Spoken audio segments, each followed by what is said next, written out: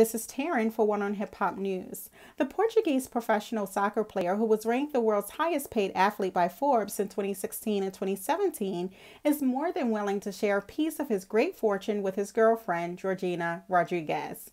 According to The Sun, the 35 year old athlete gives his baby mama a $100,000 allowance every month to fund her lavish lifestyle. The couple and his four children also often enjoy luxury holidays on a yacht.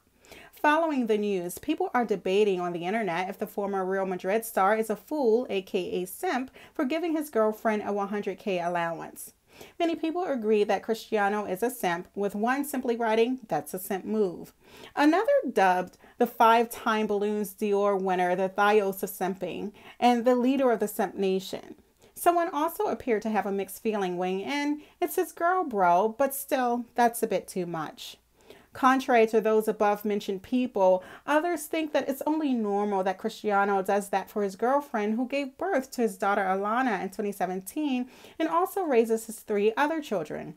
Not simping if that's his girl, one argued. Man pretty much makes that a day, so who cares? That's his baby mama, too, another similarly commented.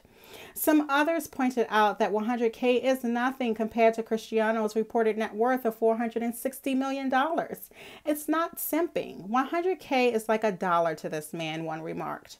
Another added, How the F he's simping. That's his girl and just a small fraction of his insane salary. Y'all killed the meaning of the word simp, laughing my A off. Cristiano currently lives a lavish lifestyle in Turin with the forward's 36 million a year salary from Juventus. He has been in a relationship with Georgina, who is a 26-year-old Spanish model since 2015, following his split from longtime girlfriend Irina Shayk.